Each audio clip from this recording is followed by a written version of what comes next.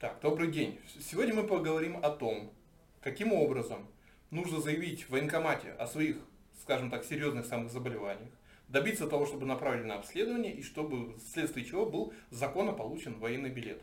Потому что бывает нарушение какое? Когда военкомат из всего списка болезней выбирает самое мягкое, самое легкое и так далее, и умышленно направляет по самым легкому, игнорируя все самое серьезное.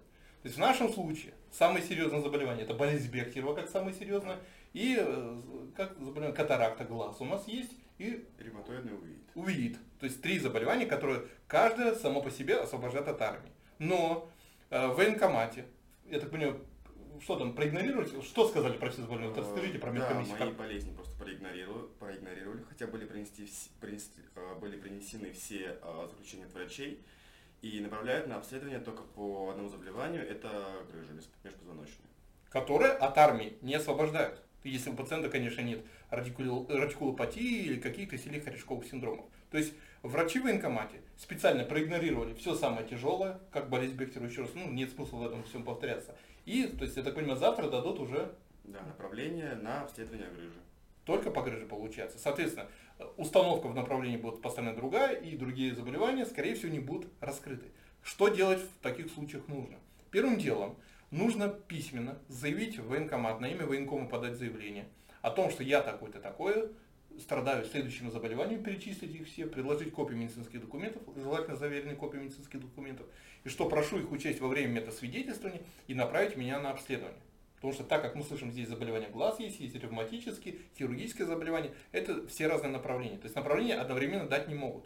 То есть отказаться сейчас от грыжи мы не имеем возможности, ну, потому что это было злоупотребление правом, поэтому обследоваться по грыже все равно нужно.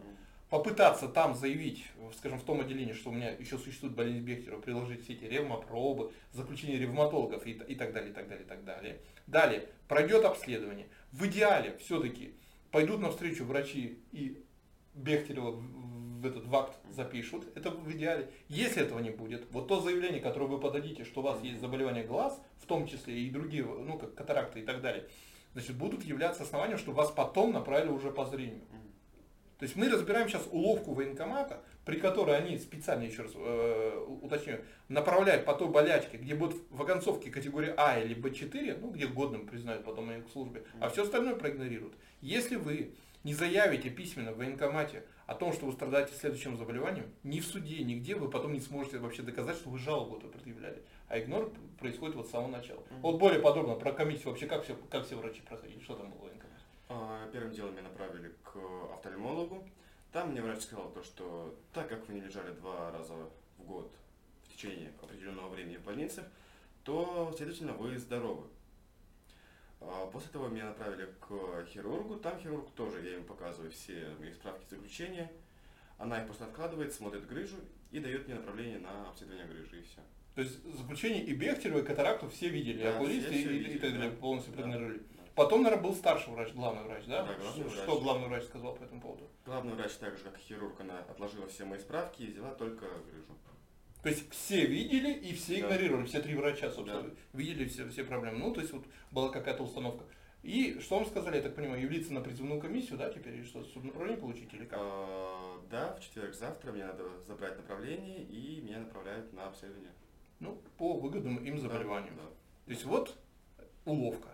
То есть сегодня же будет подготовлено заявление, и до заседания призывной комиссии нужно, необходимо подать угу. заявление о приобщении документов с просьбой, чтобы направили на обследование. Соответственно, сначала пройдете обследование по хирургии ну, вот в этом отделении, попытайтесь добиться, что там болезнь Бехтерева вам все-таки указали в заключении. Если не получится, то повторно потом будете направлены уже. Если все-таки проигнорируют и будут беспредел и признают годным, то нужно подавать заявление в суд. И суд в любом случае спасет.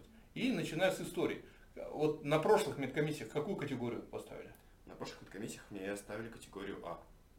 Вот. С болезнью Бехтерева вот так ставится категория годности А. И хорошо, что молодой человек заранее обратил на это внимание, да? Mm-hmm. Хуже было бы, если бы это было потом уже, по результатам, потом судиться, чего-то доказывать и так далее, когда у вас нет доказательств о приобщении. Вот, собственно, акцент мы делаем на э, эту ситуацию. Да. Будьте внимательны, готовьтесь ко всему. Если нужна будет помощь, обращайтесь, мы поможем обязательно.